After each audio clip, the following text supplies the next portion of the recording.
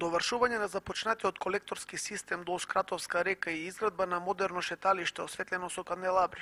Ова е проектот кој им го нуди на граѓаните на Кратово кандидатот за градоначалник од владеачката коалиција Мите Андоновски. Две години започнавме со изградба на колекторски систем и уредување на речното корито на Кратовска река. Во новата програма, која предвидени се уште 1 милион евра, средства обезбедени преку Министерството за транспорт и врски и веќе изберен изведувач и за некој ден ќе почне со продолжување на изградба на овој објект. Во завршната фаза, општината планира да изгради пречистителна станица за отпадните води.